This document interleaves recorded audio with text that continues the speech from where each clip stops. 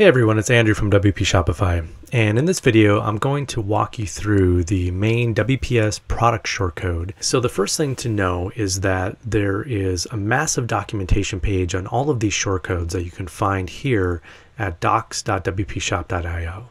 So what I'm going to do is I'm going to create a new WordPress page that I have here. It's called shortcode example.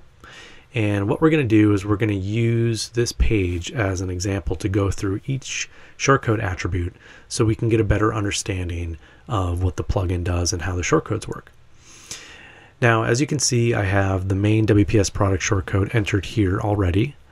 And let's go ahead and see what this page actually looks like.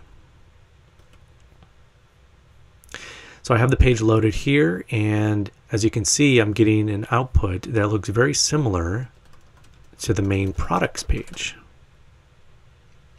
And it's very similar. It's actually the exact same layout.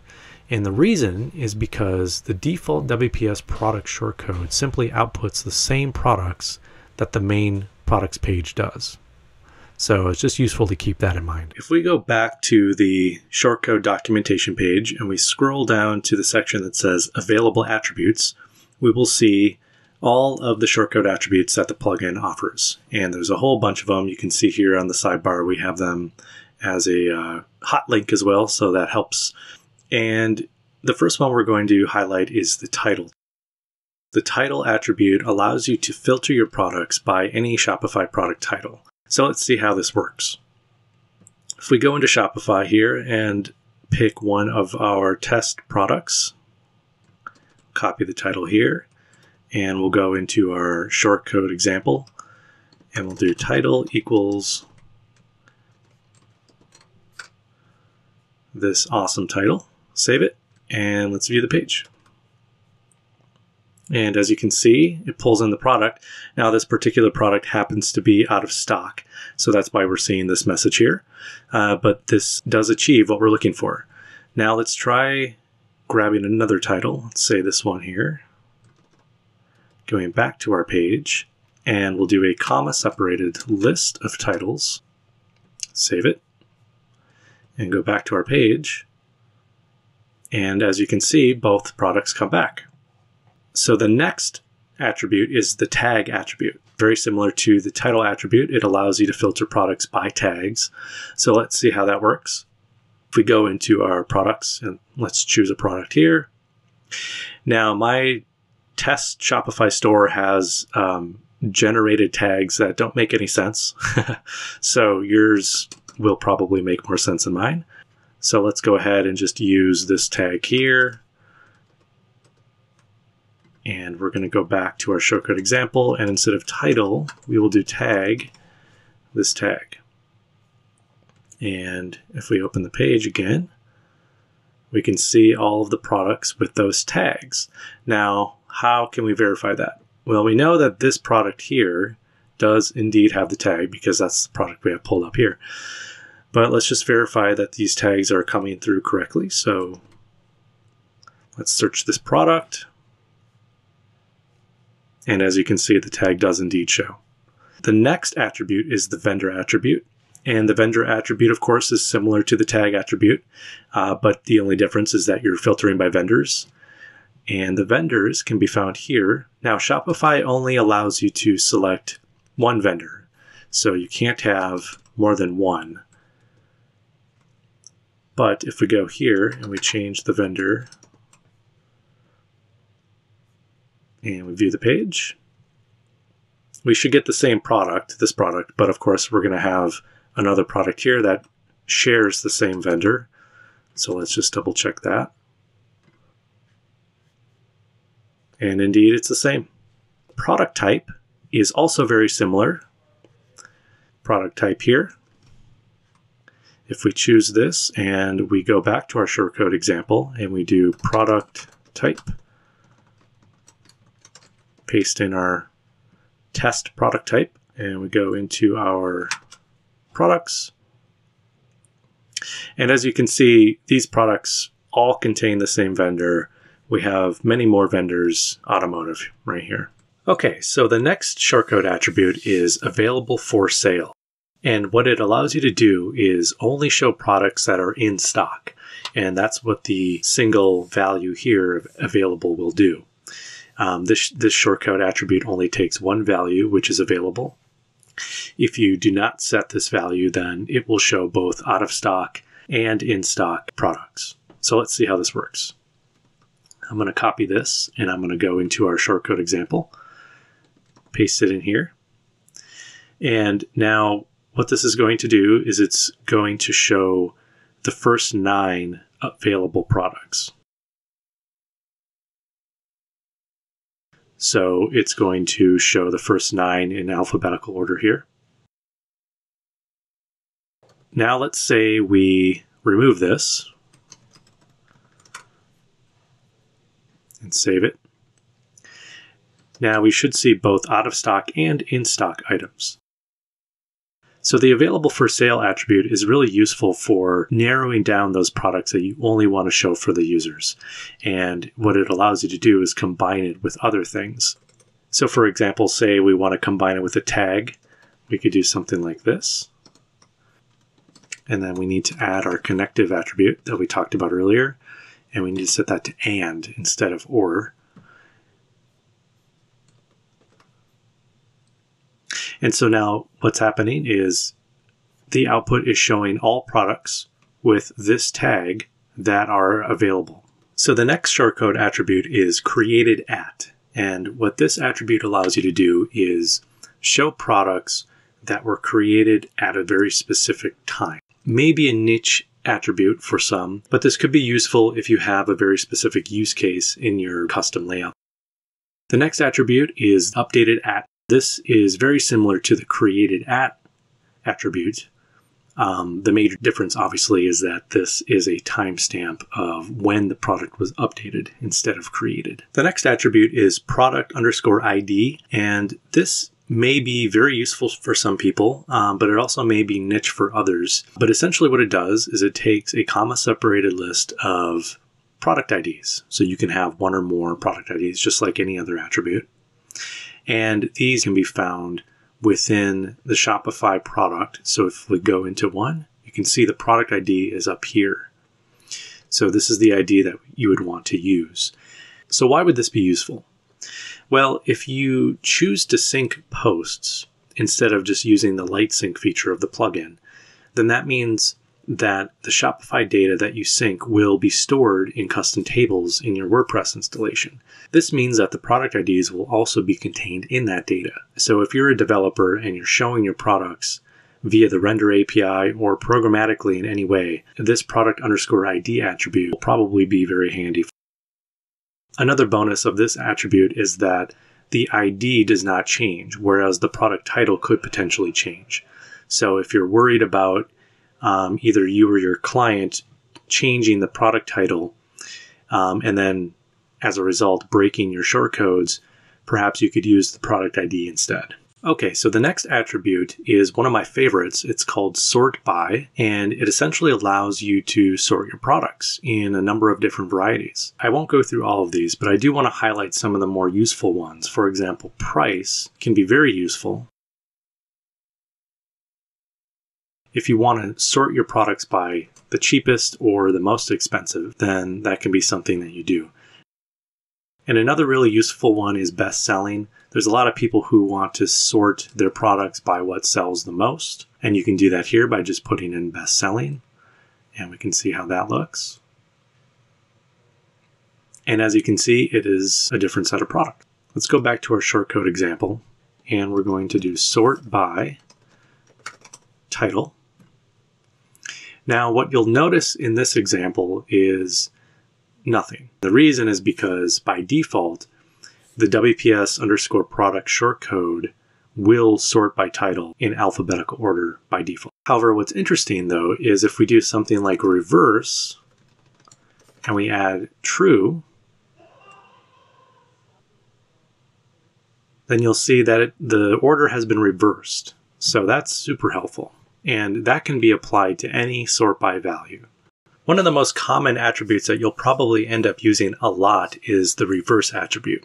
And what the reverse attribute does is it essentially reverses the order of the products that are returned when you use a combination of other attributes.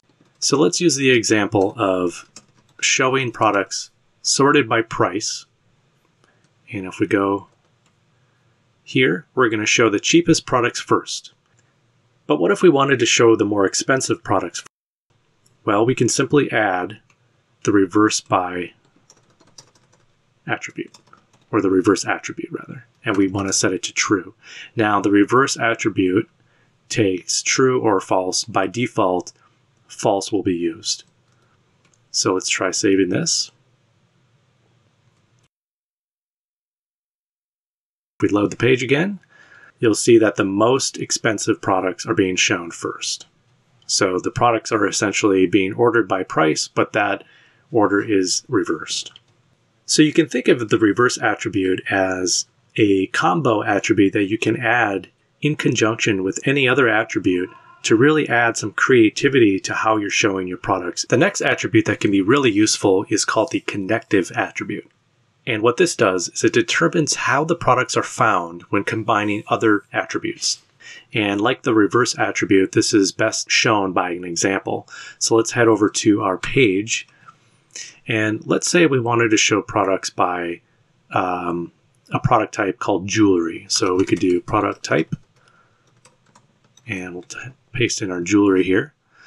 And let's also assume that we only want to show jewelry products that are in stock.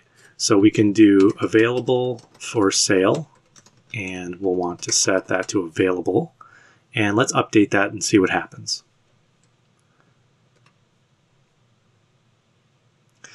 Now you'll see that the products are coming from the jewelry category, but we're getting the out of stock products as well. So why is this? Well, this is happening because by default, all of the WP Shopify shortcodes will use an OR comparator to determine what products to show. And what that means is it's going to say, find me all of the products that are available in the product type jewelry.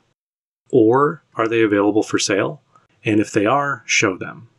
But that's not what we want. We want an AND comparator. We want to say, do products belong to jewelry and are they available for sale? And so the way we can override that is by using the connective attribute.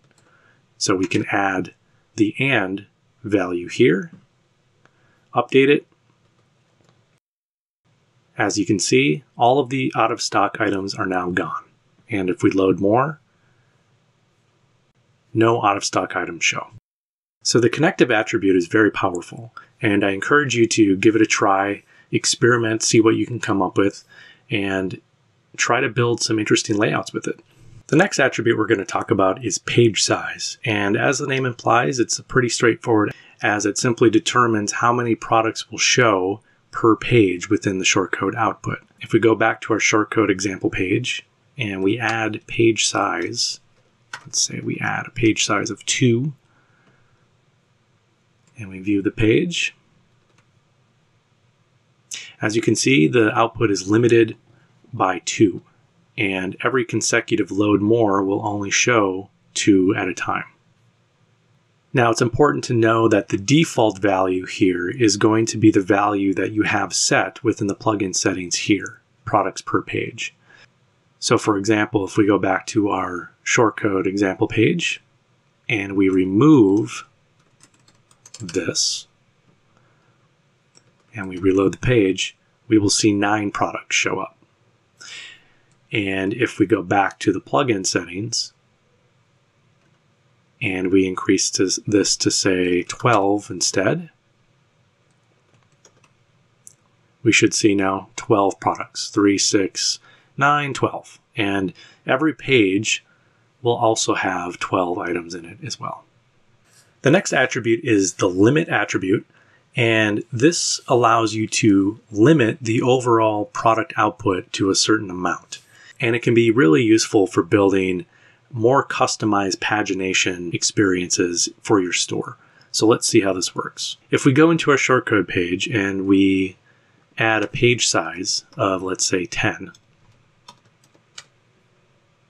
we update this, we update this, and we go to the page we should see 10 products 3, 6, 9, and 10. And of course, every page now will also have 10. But what if that's not what we wanted? What if we wanted to limit the overall number of products that get shown? And that's where the limit attribute comes in. So let's go back to our page and we add a limit of 20. We'll go back to our page and we'll see the initial 10. And if we load more, we'll see another 10, but that's it. So the overall output was limited by 20, and the pagination will stop there. Okay, so the next attribute is called add to cart button color, and as the name also implies, this allows you to change the color of the add to cart button. I'm filtering by this title so it's easier to kind of show you what happens to the color. And let's add the attribute add to cart button color. And the attribute itself takes a CSS value. So it can be hexadecimal or an RGBA value. So we can do something like this 000, which will be a black color. Or, in fact, we could just do this red because this is also a valid CSS um, color value. And if we go to the page, you can see the add to cart button is now red.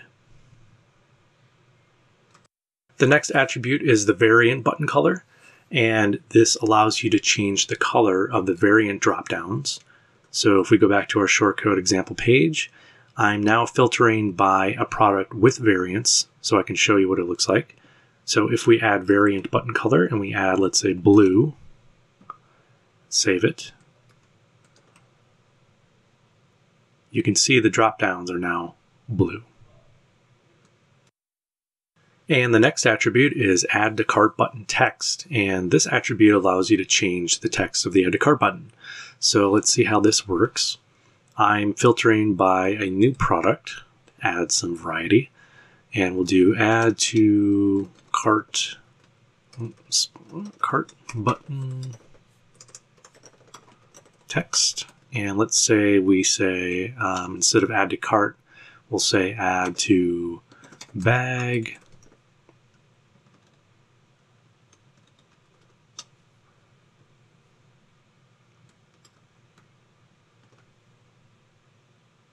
And there it is. The next attribute is called hide quantity. This will allow you to hide or show the quantity selection field for any product. So let's see how that works. If we visit our example page, you'll see that every product that's available has a quantity selection field by default. And so if we add hide quantity and we set it to true, and we reload, that will disappear altogether. So you won't get the label and you won't get the input field either. The next attribute is show quantity label. And this is a very simple attribute that will either show or hide the quantity label next to the input. So if we go back to our page and we add show quantity label and we add false, that will hide the label and if we view the page, you can see that the quantity input is shown, but the label is gone. The next attribute is min quantity, and this can be a useful little attribute that allows you to set by default a minimum quantity amount that the user must select for any product. So let's see how this works. If we copy this shortcode and go into our example page, paste it here, now here we have it set to 4, so if we go to this page, we can see that the quantity field is automatically set to 4, and this is including every product that's outputted.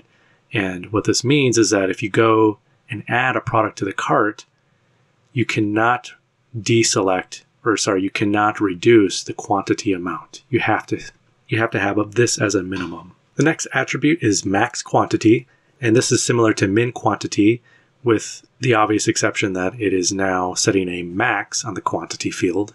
So if we copy this and we go into our shortcode example page, we are going to set a max input of 3. We load the page. Now you can see the user can still select 1, 2, 3, but it cannot select more than 4.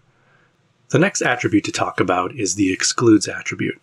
And this one is probably my favorite because it allows you to hide or show the different components of a product. And I'm going to walk through each value to give you an idea of what it can do. This is the product that we're going to be modifying. And let's say we do not want to show the product description. We only want to show the product title, the price, the gallery, and all of the buy button selections. We can do this by using the excludes attribute. So if we type in excludes, description, and we save that, as you can see, the description goes away. Now, if we go back to the documentation, you can see that it has four other values, buy button, pricing, title, and images. And I'm going to walk through each one. So images, as you can imagine, represents the product images. Now, a product can have a gallery like this product does here, where it shows more than one image in a gallery format. Or if a product only has one image selected or set, then only a single image will show.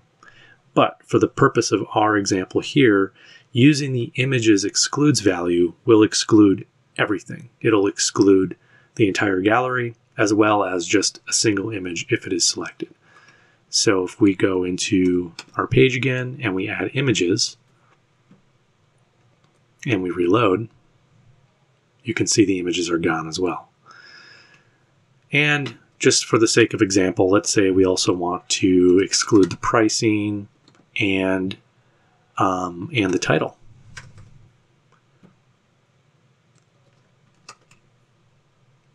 As you can see, the only thing that's left are the buy button components.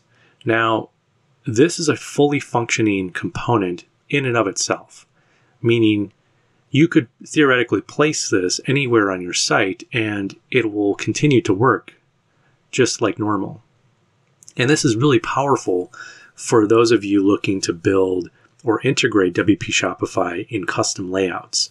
You can, for example, imagine this being within a theme template file that you control, perhaps in a carousel or perhaps in some kind of widget, and you want to customize everything surrounding the buy button component, but you want WP Shopify to control, obviously, this stuff. And this is the way you could do that. The next attribute is items per row, and this allows you to determine how many products or collections show per row of items. So, for example, if we go into our shortcode page and we view the page, you can see we have rows of three. But if we go into our shortcode and we do items per row, and we set this to something like 10, I don't know why you'd want to do 10, but let's do 10. As you can see, we now have 10 products per row and it's completely unusable. So let's change that to 4 instead. There we go. Okay, so the next attribute is show price range. And this is a simple attribute that allows you to toggle the price range component on a product. Now, by default, products will show the price ranges.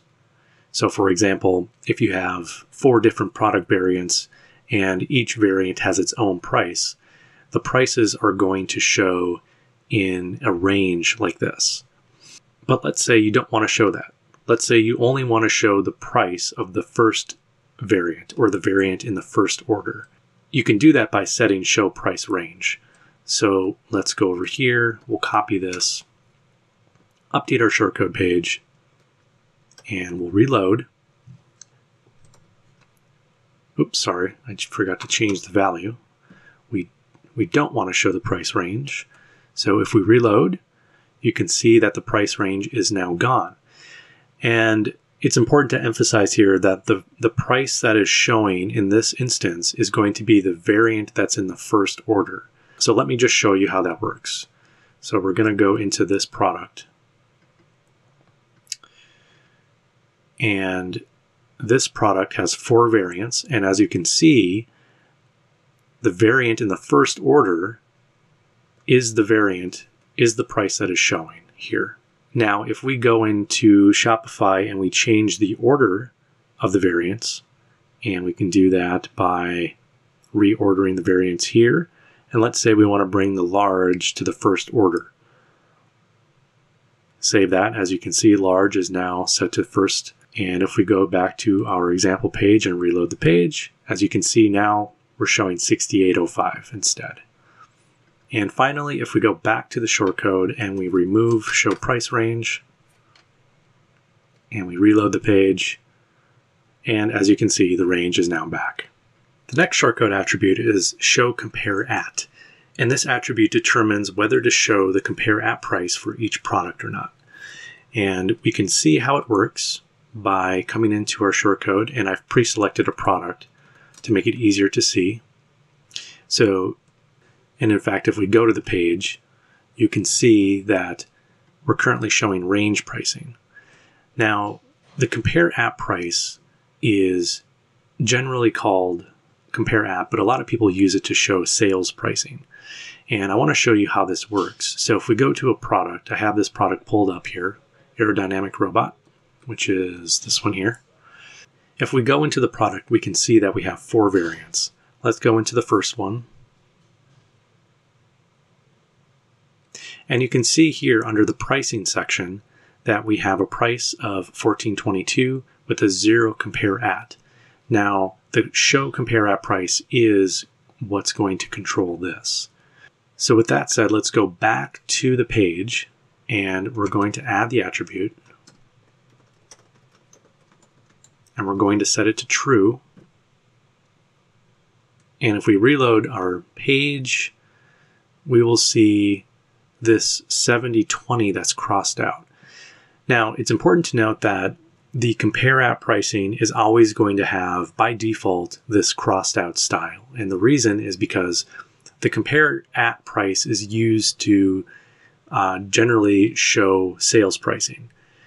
Now, you're probably wondering where the 70-20 is coming from, and let's try to go find that. So if we go back to the product in Shopify, again, we have these four variants. We have a zero compare at price here and here. So the small red combo has a 720 compare at price. And the medium white also has a 720 compare at price. And the large red also has a 720 price. So, which is why we're only seeing one. What happens if you have different compare at prices? Let's try going into the large red variant and changing it to 170 and saving those changes. And we'll go back to the product and we'll reload. And now you can see that instead of a single price, we actually have a range pricing as well. And that is because obviously we have different compare at prices. We now have a range of compare at prices. So just note that when you are changing your pricing or when you have your pricing shown with WP Shopify, if you have the same price, so the same compare at price for every variant, only one price will show because it's the same price. But if you have different prices, then a range is going to show. Okay, so the next attribute is the quantity label text. And as the name implies as well, this is simply going to change the label the text label next to the quantity input field for any given product. So let's see how this works. If we copy the shortcode and we go to our page, um, I'm actually going to leave this one here. So I'll paste this here and just extract the attribute. Paste it in here. Save. And now if we go back to our example, you can see we have a custom quantity text label. And if we go here, we can remove this. If we set it to nothing, then as you can see, it just picks up the default. So by default, quantity text, the quantity text will be shown, but you can customize it with this quantity label text attribute. The next attribute is called show featured only, and this is going to determine whether to show the product feature images or whether to show all images in a gallery format. So let's see how this works. I have an image pre or I have a product pre-selected with a bunch of images so we can see how it works and let's let's actually see how it looks first. So as you can see we have about six images here and if we go back into the page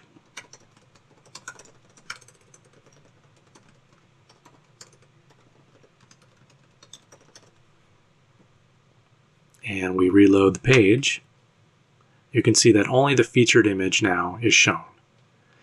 So if we go into the product in Shopify, we can reorder this image. Let's say we choose this image instead, image order saved. And if we reload the page, the new image is shown. Okay, the next attribute is called show zoom, and this is a pro only attribute. So if you're a free user, you will not have access to this. But if you're a pro user, you can toggle the zoom functionality on product images by using this attribute. So for example, let's go into one of our products here and we'll view the state beforehand. As you can see, there's no product image zooming. But if we add it, show zoom, set it to true, and we reload the page, as you can see, we now have image zooming. Now the images that I'm using are very high res. So as you could see, there was a little loading indicator. If your images are super high resolution, I would encourage you to only upload um, a reasonably sized image instead to Shopify, and that will greatly improve the overall image loading within WP Shopify. Okay, now the next shortcode attribute is called pagination, and this simply allows you to toggle on or off the pagination for any given shortcode. By default, WP Shopify will show pagination for all products, but if you wanted to turn this off, you could do that with this shortcode. So let's see how this works. If we go into our page, we're currently outputting the default shortcode, and we can go view the page.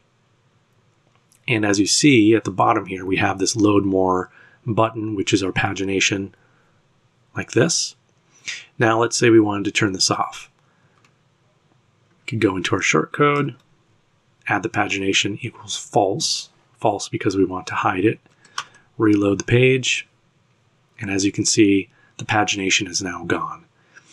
And it's also important to note that pagination can be set on a global level from the plugin settings you just want to go to layout and you can set hide all pagination right here. The next attribute is called infinite scroll, and this is a pro only attribute that allows you to turn on the infinite scroll effect for pagination. If we go to our shortcode page, we have the default um, shortcode, and if we view the page, we can see that our pagination currently has the load more button, but we need to manually click it before the pagination actually takes effect. So the infinite scroll, as the name implies, and um, a lot of you are familiar with, it's going to simply load the products as the user scrolls automatically for you. So if we go into the shortcode here and we add infinite scroll and we set it to true, reload the page, now, as we scroll, the products are automatically loaded as the user scrolls.